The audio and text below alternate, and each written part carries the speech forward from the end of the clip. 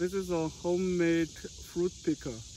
It helps you a lot uh, to stay safe and it's very convenient. You don't have to get up on a ladder or in this case, for example, the trees are very stony, so you can pick the fruits while standing on the ground. You, you don't get hurt. So very convenient.